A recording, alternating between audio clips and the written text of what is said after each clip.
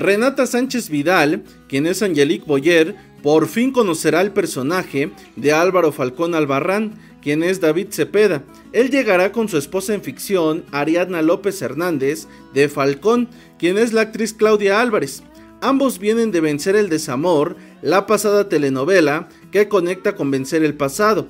Ante la llegada de ambos personajes, se han soltado una oleada de especulaciones, en donde aseguran que vendrán para algo muy importante, ya que anteriormente se dijo que Álvaro sería su donador porque es el hermano de Renata Sánchez pero esa teoría se ha descartado. Lo que sí es que llama mucho la atención a qué vendrá, ya que su llegada la han pospuesto mucho, porque Cepeda grabó su participación justo dos semanas después de que comenzaran las grabaciones de esta telenovela. Por eso todos estamos a la expectativa de qué vendrá a ser a vencer el pasado, porque no creo que solo venga para dar un discurso motivacional, tal y como pasó con Arcelia Ramírez, quien entró con su personaje de vencer el miedo, Inés Bracho.